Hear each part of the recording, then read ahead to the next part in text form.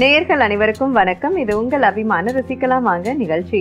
நம்முடைய ருசிக்கலாம் வாங்க நிகழ்ச்சியில இன்றைக்கு நமக்காக தீபா வந்திருக்காங்க. அவங்க என்ன ரெசிபி செய்ய போறாங்கன்னு பார்க்கலாம்.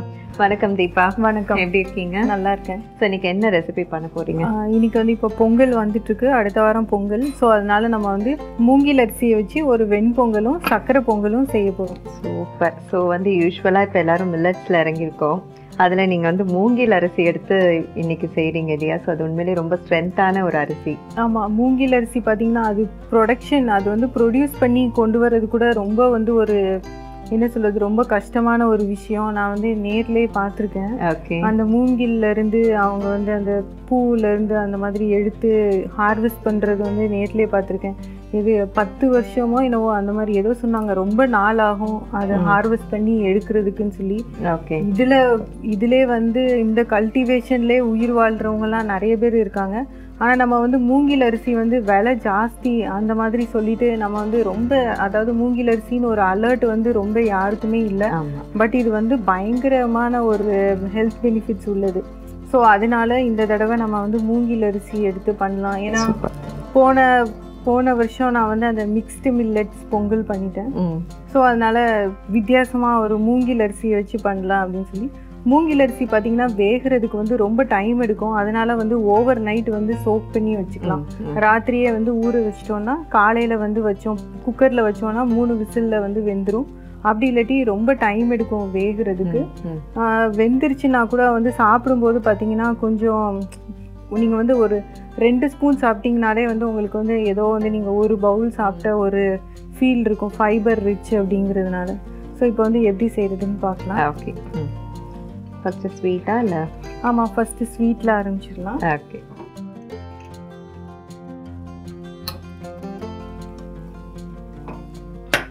குக்கரில் தான் வந்து நம்ம பண்ண போகிறோம் ஏன்னா மூங்கில் அரிசி வந்து வேகிறதுக்கே வந்து ரொம்ப டைம் எடுக்கும். அதனால வந்து குக்கர்லேயே செஞ்சுக்கலாம். ஓகே அரிசி வேணும். நம்ம அரிசி வந்து ஊற வச்சு எடுத்து வச்சிருக்கோம்.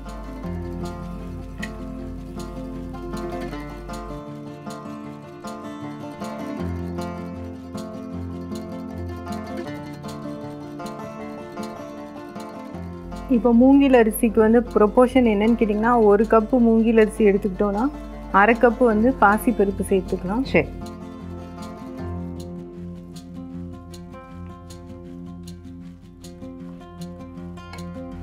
பாசிப்பருப்பு போடாமல் கூட செய்யலாம். ஆனால் அந்த மூங்கில் அரிசி பார்த்தீங்கன்னா என்னதான் வெந்திருந்தாலும் அது வந்து அப்படி ரொம்ப குழஞ்சிலாம் வராது. கொஞ்சம் அந்த சாப்பிடும்போது விதை விதையாக இருக்கிற மாதிரி தான் இருக்கும்.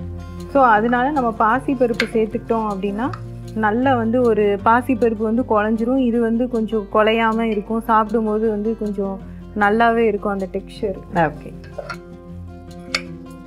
மூங்கில் அரிசிக்கு பார்த்தீங்கன்னா ஒரு கப் மூங்கில் அரிசிக்கு ப்ரெஷர் குக்கரில் வந்து நம்ம மூணு கப் தண்ணி சேர்த்துக்கணும்.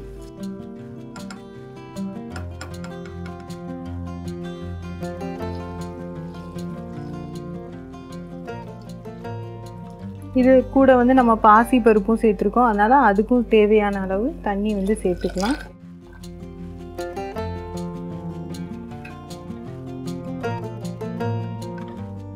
ஒரு அரை டீஸ்பூன் நெய் சேர்த்துக்கலாம். தண்ணி வந்து நம்ம நிறைய சேர்த்துருக்கோம் இல்லையா? அதனால வந்து ப்ரெஷர் குக்கரில் வைக்கும்போது நிறைய வந்து அந்த மாதிரி செதறும் தண்ணி. அதனால வந்து நம்ம நெய் சேர்த்துருக்கோம். ஓகே நெய் சேர்த்துக்கிட்டோம் அப்படின்னா ரொம்ப வந்து செதறாது அதுக்காக தான்.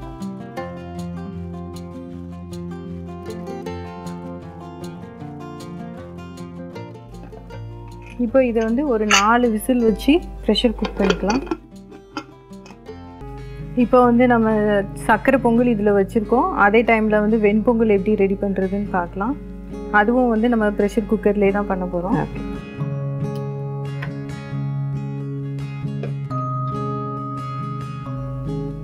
குக்கர் வந்து நல்லா சுட வச்சாச்சு. இதுக்கப்புறம் வந்து ரைஸ் சேர்த்துக்கலாம் மூங்கில் அரிசியை. மூங்கில் அரிசி பார்த்தீங்கன்னா ஒருவேளை ஓவர் நைட் நம்ம ஊற வைக்கிறதுக்கு மறந்துட்டோம் அப்படின்னா அரிசியை வந்து நல்லா ஃபஸ்ட்டு தண்ணியில் அலசிடணும். அலசிட்டு மிக்சியில் போட்டு லைட்டாக ஒரு பல்ஸ் தான். கொஞ்சம் வந்து நொறுங்கிரும். ம், ம். நொறுங்கினதுக்கு அப்புறம் நம்ம வந்து போட்டு சமைச்சிட்டோம் அப்படின்னா அது வந்து வெந்துடும். ஸோ அதனால் ஓவர் நைட் ஊற வைக்கல அப்படிங்கிற கவலை வேண்டாம். ஆனால் அந்த மாதிரி அரிசியை கழுவிட்டு திருப்பி அதை வந்து ஒரு அட்லீஸ்ட் ஒரு ஒரு மணி நேரம் அந்த மாதிரி டைமாவது கொடுத்து ஊற வைக்கணும். ஊற வச்சுட்டு பண்ணோன்னா குக் ஆயிரும் நமக்கு ஓகே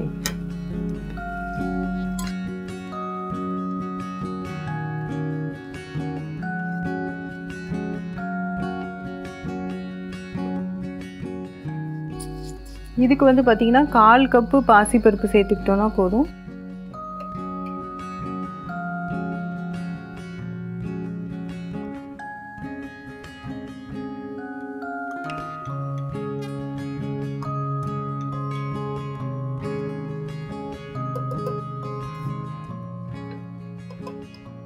தேவையான அளவு தண்ணி சேர்த்துக்கலாம். தண்ணி வந்து அதே மாதிரி ஒரு கப் மூங்கில் அரிசிக்கு மூணு கப் தண்ணி சேர்க்கணும். ஓகே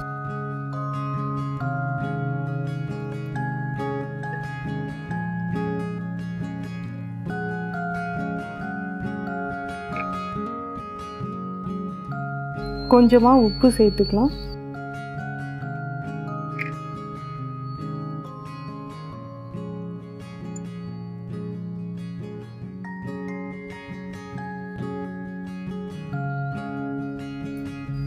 நெய்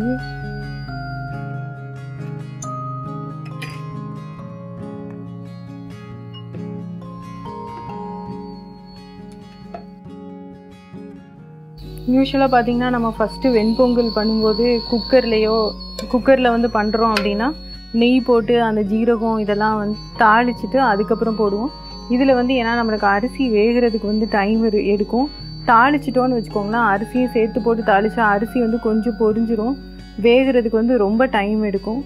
ஸோ சாதாரண அரிசினா நம்ம வந்து மூ- ரெண்டு சவுண்டு வைக்கிற இடத்துல மூணு சவுண்டு வச்சுருவோம் வெந்துடும் ஆனால் இது அப்படி கிடையாது. அதனால் இது வந்து வேக வச்சுட்டு அதுக்கப்புறம் வந்து நம்ம தாளித்து கொட்டிக்கலாம். ஓகே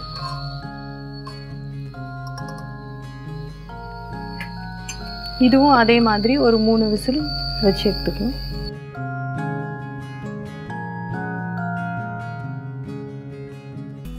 இப்போ வந்து குக்கர் ரெண்டு குக்கர்லேயுமே விசில் அடங்கிச்சு ஃபஸ்ட்டு வந்து நம்ம சர்க்கரை பொங்கல் செஞ்சிடலாம்.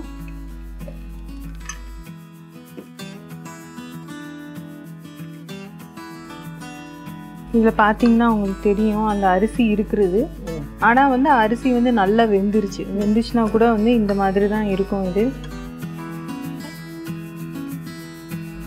நல்ல வந்து ஒரு ஃபைபர் ரிச் இது வந்து. ஸோ அதனால் வந்து ஃபுட்டில் வந்து இன்க்ளூட் பண்ணலாம். ஓகே அது போக பார்த்தீங்கன்னா அந்த மூங்கில் அரிசியில் வந்து என்ன ஒரு விஷயம் அப்படின்னா மூங்கில் மரம் வந்து அதோட ஆயுசு முடியும் இல்லையா? அந்த டைமில் தான் அது பூக்கும். பூக்கும் போது அதுலேருந்து விதை வருது இல்லையா? அதுதான் மூங்கில் அரிசி. அதனால வந்து ஒரு இது எடுக்கிறதுக்கே வந்து அறுபது வருஷம் ஐம்பது வருஷம் அந்த மாதிரி ஆகும். அந்த. மூங்கில் அரிசியை வந்து எடுக்கிறதுக்கு. ஸோ நம்ம இந்த மாதிரி எல்லாம் நம்ம வாங்கிக்கிட்டோம் அப்படின்னா இது விவசாயம் பண்ணுறதுக்குன்னே நிறைய பேர் இருக்காங்க. இதெல்லாம் வந்து ரொம்ப நிறைய அரிசிங்க வந்து அழிஞ்சு போயிடுச்சு நம்மக்கிட்ட ஸோ இந்த மாதிரி நம்ம வந்து வாங்கலை ரொம்ப விலை கூட அந்த மாதிரி சொல்லி ஒதுக்க ஆரம்பிச்சிட்டோம் அப்படின்னா இதையும் வந்து பண்ணுறதை வந்து நிப்பாட்ட. ஆரம்பிச்சிருவாங்க. ஸோ அதனால் இந்த மாதிரி வந்து கண்டிப்பாக வந்து எல்லாருமே வந்து ட்ரை பண்ணி பார்க்கலாம். இப்போ வந்து வெல்லம் சேர்த்துக்குவோம்.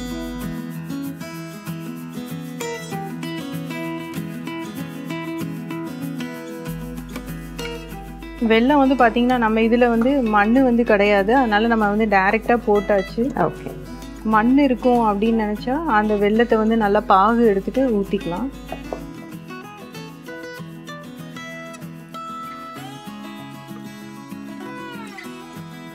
ஸோ தீபா சொன்ன மாதிரி பார்த்தீங்கன்னா இந்த மூங்கில் அரிசி வந்துட்டு நம்ம நார்மலாக வாங்குற அரிசியை விட கொஞ்சம் காஸ்ட்லி தான். ஆனால் வந்து பார்த்தீங்கன்னா இப்போ அவங்க சொன்னாங்க இல்லையா ஐம்பது வருஷம் அறுபது வருஷம் இருக்கக்கூடிய மரத்துலேருந்து வரக்கூடிய விதை தான் இந்த அரிசி. ஸோ அப்படி இருக்கும்போது அதில் எவ்வளோ சத்து நிறைஞ்சிருக்கும்? அவ்வளோ வருஷங்களுடைய சத்துமே அந்த அரிசியில் தான் இருக்கும். ஸோ அது நம்ம சாப்பிடும்போது நமக்கு உடலில் இருக்கக்கூடிய வியாதிகள்ல இருந்து நிறையவே க்யூர் பண்ணலாம். அதே மாதிரி முக்கியமாக நான் ஆல்ரெடி சொன்ன மாதிரி டயபெட்டிக் பேஷண்ட்ஸ் இந்த அரிசியை வந்து அவங்களுடைய சாப்பாடில் ரெகுலராகவே வந்து எடுத்துக்கலாம். ஸோ அதனால் நம்ம மாசத்துல அட்லீஸ்ட் ஒரு ரெண்டு தடவை ரெண்டு தடவை எடுக்க ஆரம்பிச்சாலே வந்துட்டு இது வந்து ரொம்ப நமக்கு உடம்புக்கும் வந்து ரொம்ப நல்லதாக இருக்கும். இப்போ வந்து நம்ம தாளித்து கொட்டிடலாம். ஏலக்காய் தூள் கொஞ்சமாக சேர்த்துக்குவோம்.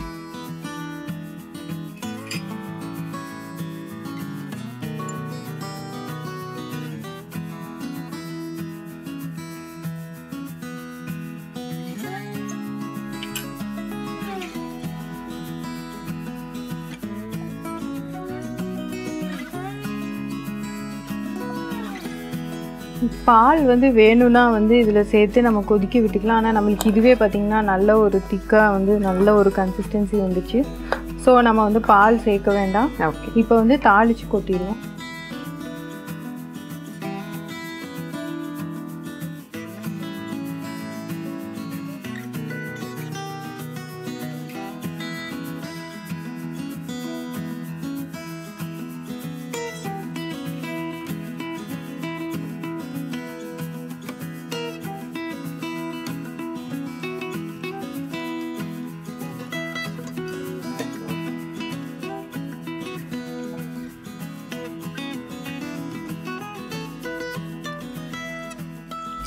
இப்போ முந்திரி திராட்சை சேர்த்துக்குவோம்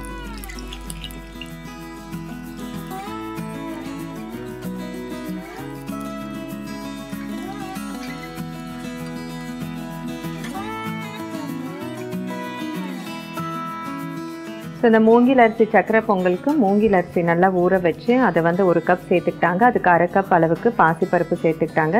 நல்லா அதுக்கு வந்து ஒரு மூணு மடங்கு அளவு தண்ணி விட்டு நல்லா குழைய வேக வச்சுட்டாங்க. நல்லா வெந்ததுக்கு அப்புறமா அதில் தேவையான அளவு வெல்லம் சேர்த்து நல்லா கிளறினாங்க. ஒரு நல்ல பதத்துக்கு வந்ததுக்கு அப்புறமா இப்போ நெய்யில் முந்திரி திராட்சையை வறுத்து சேர்க்குறாங்க. ஏலக்காய் தூள் ஆட் பண்ணியிருக்காங்க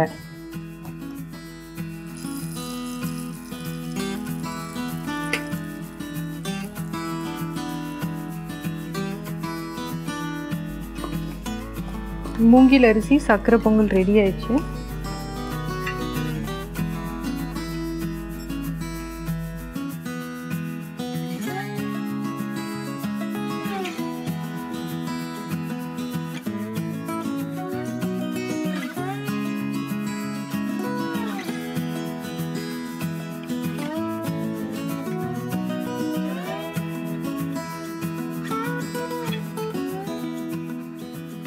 இப்போ வந்து நம்ம இது வந்து ஓப்பன் பண்ணி பார்க்கலாம். ஓகே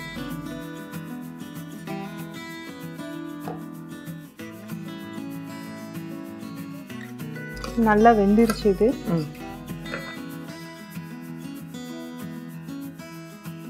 இப்போ இது வந்து நம்ம சிம்ல வச்சுட்டு இந்த பக்கம் வந்து தாளிக்க வந்து ரெடி பண்ணிடலாம்.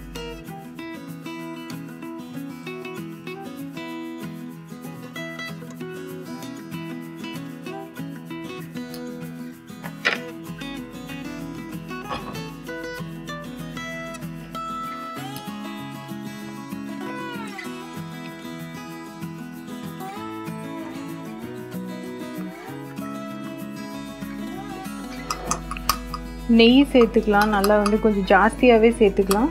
ஏன்னா வெண்பொங்கலுக்கு வந்து நம்ம நிறைய நெய் சேர்ப்போம். இதில் வந்து நம்ம எதுவுமே பண்ணவே இல்லை. அரிசி வேக வைக்கணுங்கிறதுக்காக.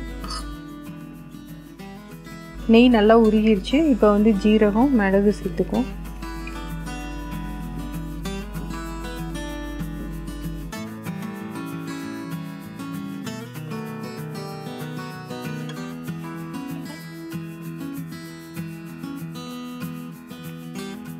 இதில் வந்து இன்னும் கொஞ்சம் நிறைய ஃப்ளேவர் வேணும் அப்படின்னு சொல்லி நம்ம நினச்சா கொஞ்சமாக வந்து ஜீரகம் மிளகு இதை வந்து நல்லா தட்டி இதில் வந்து சேர்த்து நல்லா கொதிக்க விட்டுக்கலாம். ரைஸோட சேர்த்து. பொடிசாக நறுக்கி வச்சுருக்கிற இஞ்சியும் சேர்த்துக்குவோம்.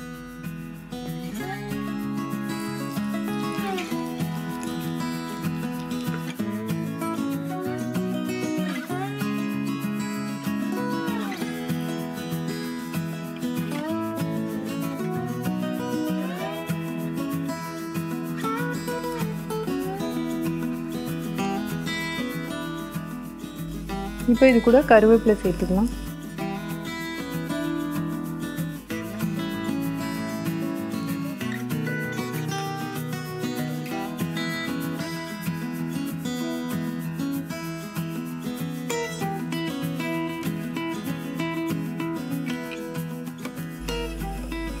இதை வந்து வெண்பொங்கலில் வந்து சேர்த்துருவோம்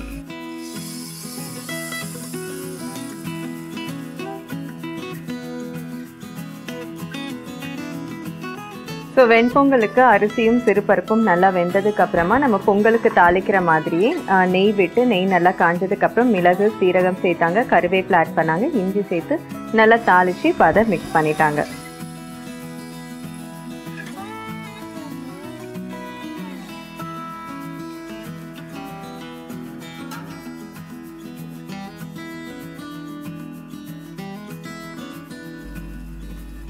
மூங்கில் அரிசி வெண்பொங்கல் வந்து ரெடி ஆயிடுச்சு. ஓகே இது வந்து கொஞ்சம் தண்ணியாக இருக்கிற மாதிரி தான் இருக்கும். ஒரு ஒரு நிமிஷம் நல்லா வந்து திக்காக அந்த மாதிரி ஆயிடும்.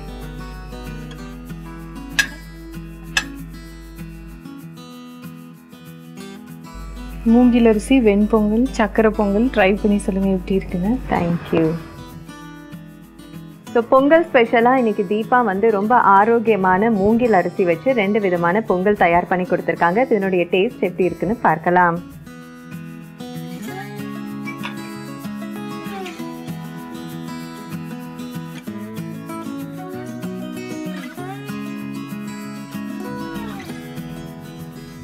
ரொம்ப பிரமாதமாக இருக்கும். ஸோ இன்ஃபேக்ட் மூங்கில் அரிசி ஊரில் சாப்பிட்ருக்கேன் ஸோ எனக்கு ரொம்ப பிடிச்ச ஒன்று ஸோ அதில் இந்த சக்கரை பொங்கல் வந்து கரெக்டான அந்த சர்க்கரை வெல்லம் சேர்த்து சூப்பராக ரெடி பண்ணியிருக்கீங்க ரொம்ப பிரமாதமாக இருக்குது